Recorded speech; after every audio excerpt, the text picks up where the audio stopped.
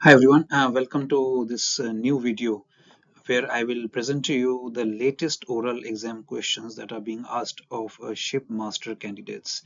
I have received a number of questions from both students and the surveyors uh, who I know personally and uh, it's not possible for me to present all the questions here but uh, I will do so in parts. So this is the first part I am presenting almost uh, 30 to 40 questions in this video and uh, because of the number of questions I cannot discuss the answers of each.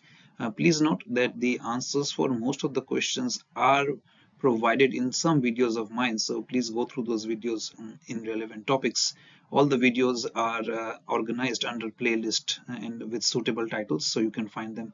In today's video i will focus mainly on the latest questions that are being asked so that uh, you can prepare accordingly. And if there are some questions for which i have not provided the answers i will make those videos in future and provide them to you. Let's get started.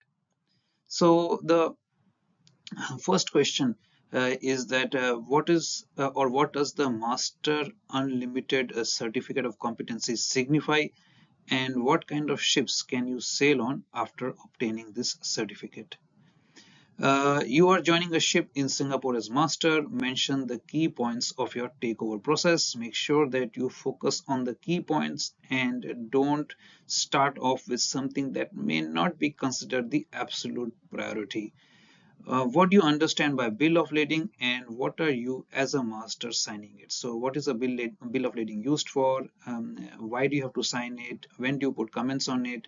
Uh, so you have to know everything about that process right? So i have discussed this in my videos on cargo work. Please you can find the answers there. Uh, i've also discussed how to take over the ship as a master. You can find the answer there as well um, second mate is joining a tanker vessel under your command. What certificates is he or she required to carry? So as a master, you should be checking the second mate certificate. So mention the certificates uh, as a second mate is normally required to carry. Also specifically check for certain certificates that are required to be carried for tanker vessels. Make sure that you also mention the STCW requirement uh, where the certificate of competency or certificates of short courses should mention the appropriate chapter or section of the STCW code what is the difference between type specific and generic ECDIS certificate? Uh, again, please watch my videos on ECDIS and you will find the answer there. What is a certificate of a registry and when do you need it? So COR I'm assuming is certificate of registry here. Um, uh, some some people say that it is chain of responsibility but i think in the context of which the question is being asked i think this is regarding ship certificate of registry. And when do you register it? What is the process behind it? Again i have discussed this in my videos. What is the validity of a medical certificate? Once you obtain a medical certificate for joining a ship what is the validity of it? How long after that you can join a ship? How will you load uh, the cargo of diesel after petrol? And how will you prepare the tanks? Um, how or where does wash water go after washing the tanks? So this is about MARPOL and its requirements. Draw the flammability diagram. So make sure that you draw the flammability diagram. Not only draw it but also label it and you should be able to explain it. So it's not only about you drawing it but also being able to interpret information from it explain it to the surveyor so that the surveyor knows that you have a thorough knowledge of the flammability diagram. What precautions will you follow before loading oil on tankers what is the wall wash process on product tankers? So i have not made a video on this. I will make a video on this uh, wall wash process. If you don't know it's mainly to get rid of the contaminants. Um, i will make a detailed video on this uh, in future and hopefully load it so that you can benefit from it. Uh, what is the process of inerting and purging of cargo tanks? You can find that answer in cargo books as well. How and where will you find information regarding free surface movements and free surface effect. So again you can go into the stability booklet and you can find information you can provide examples to the uh, surveyor and you can also explain the formula for calculating free surface correction why it is important. So the more information you provide about stability calculation or about any of these processes um, the better it is. Uh, there could be situations where you do not have the practical knowledge. So at that point of time uh, be honest and let the surveyor know that your knowledge comes from purely reading from books or learning from lecturers or talking to your peers. And uh, but the more information you provide the more knowledge you can provide about that the more the surveyor will be happy what is the formula for free surface effect? How do you calculate free surface correction? So on and so forth. What do you understand by the virtual loss of gm so here again i recommend that you draw the diagram to show how does a virtual loss of gm occur and what is the impact of it on ship stability. What is the criterion for intact stability? Uh, stability information is provided by chief Mate to you as a master. What are you checking for? Uh, please mention the key stability parameters that you will check for uh, like uh, the gm uh, for a vessel uh, why what is the value of gm that you will find acceptable depending on your type of vessel uh, free surface correction uh, loading um, stresses uh, be uh, shearing forces bending moments all those things that you are looking for. Describe the imo stability criteria. What is an official logbook and what entries are required to be made in it? Explain the frequency with which the ship drills are scheduled. As a master what certificates do you check for on joining the vessel how long does the emergency generator run for? And uh, explain the emergency steering gear test carried out at sea so these are again uh, answers. Uh, some of it you can find on my um, videos some of it you have to find out yourself. Uh, i will try to make a videos on uh, the topics that i have not covered. Remember when we talk about uh, checking for certificates as a master they are basically trying to assess your knowledge about not only the number of certificates but what is the validity period how frequently do you carry out surveys to renew the certificate?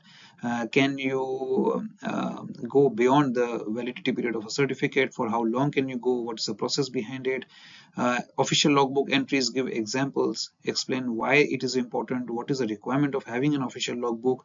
Um, IMO stability criteria, mention the criteria, but you should be also able to explain the criteria if required. Don't only uh, uh, memorize and regurgitate it in front of the surveyor and be ready that the surveyor may have some follow-up questions to ask of you. Virtual loss of GM already explained and criterion of intact stability again same thing be able to explain it in practical sense how would you go about using this information for your ensuring that your ship is safe? Uh, steering failure in Singapore Strait what will be your action? Uh, this is a follow-up question from the last question that we discussed where we explained the emergency steering gear testing procedure at sea. There's a fire in engine room. What is your action? What is the width and depth of navigable water? Under what circumstances can load lines be submerged? What is the meaning of condition of class um, class what does that basically mean? What is the meaning of classification society? Is it mandatory for a ship to belong to a classification society? What is their role? What is the importance of it? Who surveys the vessel classification society or flag state? What is included in a vessel inspection for MLC compliance? MLC stands for Maritime Labour Convention. Uh, what is the meaning of seaworthiness? How would you describe seaworthiness? How do you check for seaworthiness? And draw the GZ curve diagram and explain the key components of it. So be able to explain that. So GZ curve diagram you can get from stability, seaworthiness. Make sure that you mention the key aspects of seaworthiness. That that means that if you say example you are taking over the ship as a master and you are supposed to be now taking the vessel out, how will you make sure that you have checked for seaworthiness? Is there a certificate provided? What are the checks required? How do you check for weather tightness, water tightness of the vessel? Uh, included what is included in vessel inspection for MLC compliance? There are five key areas of MLC. I've explained that in my previous videos. Make sure you mention all the five key areas such as living and working conditions, uh, accommodation facilities. Uh, then if we talk about document and enforcement, compliance, uh, uh, uh, then employment conditions, so on and so forth. There are five five key areas. Um, who surveys vessel depends on what is the purpose of it so talk about classification society when do they come and inspect when does flag state come and inspect the vessel um, what is the importance of classification society how involved they are. So remember classification society is involved right from the building stage of the vessel. Why they are involved? Because they set the standard for ship construction and seaworthiness. So these are all questions that are kind of related and you will find that uh, the surveyor is going about it in a certain pattern in a certain order and they're trying to get your uh, knowledge or trying to assess your knowledge about whether you understand about the various uh, processes involved right from the construction of the vessel to the point that it is launched into the sea or you take over and you take it out at sea and you test it at sea right? In fire and engine room talk about uh, the safety. Remember to keep the people safe. It is not only about extinguishing the fire but making sure that at all points of time you have kept the safety of the crew and you have given it the paramount importance. Safety of the crew safety of life is first safety of ship is second and then it is the safety of cargo so always make sure that no matter what actions you're taking you are not putting the lives at risk and then making sure that the priority is of course extinguishing the fire. Steering failure in Singapore Strait, then that is a link to the previous question where you explain the emergency steering gear test. So this is where the surveyor wants to know whether you can actually or practically put it in action. How will you go about steering the vessel from the emergency steering flat? Is there a process before you switch over to emergency steering? Can you use the follow-up or non-follow-up mode? Can you steer by magnetic compass? So when we talk about steering failure, we are assuming that the gyro compass has failed. So you can use steer by magnetic compass and or do you have to steer by uh, the emergency steering gear test. So uh, that is what the surveyor wants to know from you as to whether you can quickly take action in an emergency scenario or in a critical situation such as Singapore Strait where there is a lot of traffic all around you.